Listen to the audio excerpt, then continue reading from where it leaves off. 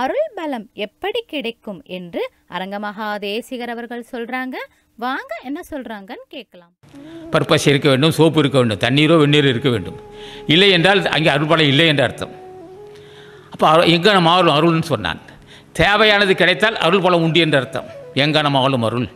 எப்படி அவனுக்கு அருள் கிடைக்கணும் நிம்மதியாக தூங்குவதே அருள். அது ஆறு மணி ஆறு மணியோடு இருக்க வேண்டும்.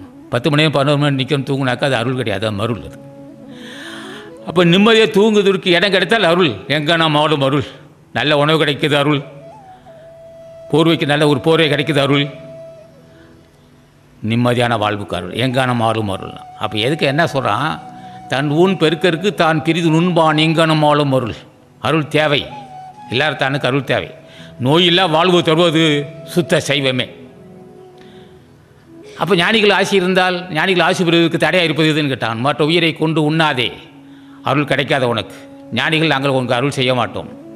அப்போ இது நாள் வரை உண்டு இருக்கோம் இந்து இன்று ஒன்று- இன்று ஒன்று உண்டிருக்கிறோம். குற்றமில்லை நாளைக்கு தூக்கிறதை அந்த ஆற்றில் எப்படி கிடைக்கும்? நானாசா நகத்தீசன் திருவருளாலும் நந்தீசன் ஆசியாலும் அருணிகநாதன் ஆசியாலும் ராமாணிக்கன் ஆசி ஆசியாலும் திருஞான சம்பந்தர் திருநாவுக்கரசியாலும் பதஞ்சலி முனிவர் ஆசியால் தான் கிடைக்கும்.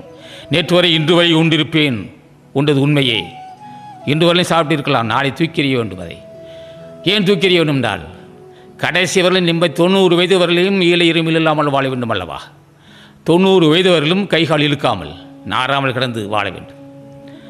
நான் தொண்ணூறு வயது தொண்ணூறு வயது வரையிலும் நிம்மதியாக உட உண இது நடை உடையாக இருக்க வேண்டும். இடுப்பில் உடை இருப்பது தெரிய வேண்டும். கடைசியோடு உணர்ச்சி இருக்க வேண்டும். அந்த வாய்ப்பு தருவது என்று கேட்டான். அதுதான் திருவடி பூஜையும் புண்ணியம் நான். எங்க நம்மளும் அருள் எப்படி அவனுக்கு அருள் ஆட்சி கிடைக்கும்? பொருளாட்சி போட்டாதார்க்கில்லை அருளாட்சி ஆங்கிலை ஊன் தின்பவர்க்குன்னா அப்போ அருளை போற்ற வேண்டும். அருளை ஏன் போற்ற தொண்ணூறு வயதிலும் உடல் ஆரோக்கியத்தோடு இருப்பதற்கு வேண்டும் அருள் துணை. அருள் அருள் அருள் போல வேண்டும்.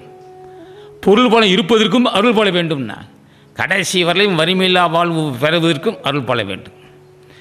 இல்லை இல்லை இல்லை என்ற பேச்சு இல்லாது இருப்பதற்கே அருள் போல வேண்டும். அதான் எங்க நாம் ஆளும் அருள். அப்போ ஒரு ஒரே ஒரு உயிரை தன் உடம்பை வளர்ப்பதற்காக தன் உடம்பை ஆக்கம் பெறுவதற்காக தன் உடம்பை வளர்ப்பதற்காக தான் தெம்பாக இருக்க வேண்டும். உடம்பு உற்சாகமாக இருக்க வேண்டும் என்பதற்காக மற்ற உடம்பை மற்ற உயிரை கொண்டு அந்த உடம்பை உண்- உண்ணுகின்ற மக்களுக்கு அருள் இல்லை.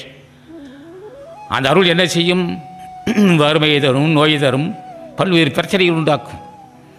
ஆகவே அதை நிறுத்தி விடுவது நல்லதுங்கிறான் வள்ளுவன் சொல்கிறான் நான் சொல்லவில்லை.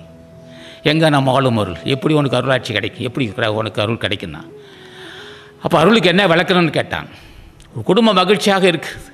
பிள்ளைகளும் அங்கே இருக்க மனைவி மக்கள் மனைவி அந்த குடும்பத்தார்கள் மகிழ்ச்சியோடு இருக்கிறார்கள். அங்கே அருள் இருக்குது என்ன நடந்தது அங்கே பையன் வெளியே சென்று வந்தானாம்.